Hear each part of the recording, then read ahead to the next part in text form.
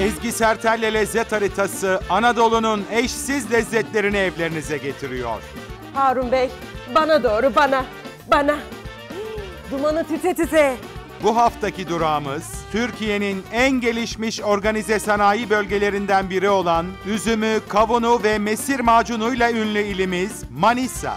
Hamuru kabartacağız karnınız doysun diye. Hı, şişsin miydiniz diye. Evet. Kırk ağaçın yöresel lezzeti olan pideli paça yapacağız. Suyu yüzüne gelecek. Özelliği odur zaten.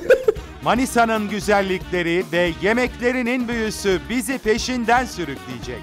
Önce kaynatacağız, sonra kaynadıktan sonra altını kısıp 4 saat pişireceğiz. Ezgi Sertel'le lezzet haritası cumartesi ve pazar günleri yeni bölümleriyle Show TV'de.